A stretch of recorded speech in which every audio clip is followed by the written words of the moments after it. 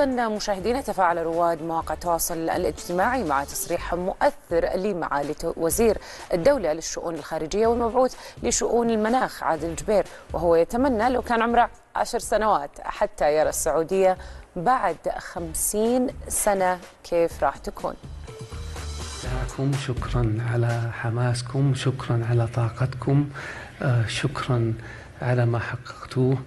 وشكرا مقدما على ما ستحققوه. آه، المستقبل واعد.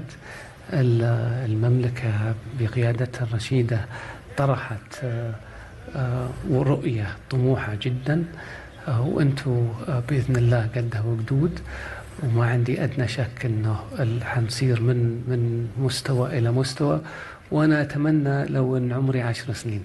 شباب تو أقدر أشوف الحق على ال 50 60 سنة القادمة آه، اللي المملكة ما عندي أدنى شك حتكون من آه، هي الآن من الدول المميزة في العالم بس حتكون من الدول الفريدة في العالم وحيكون بصمتها على المجتمع الدولي آه، في كل المجالات سواء المناخ أو الاقتصاد أو أو التجارة أو حل النزاعات الخلافات حيكون بصمات كبيرة جدا ومهمة جدا بحكم القيادة الحكيمة وبحكم الطاقات المميزة اللي موجودة أمامنا الآن. فالله يوفقكم وشكرا على كل ما تقومون به وما نتمنى لكم إلا التوفيق. والقادم أجمل إن شاء الله معاليك.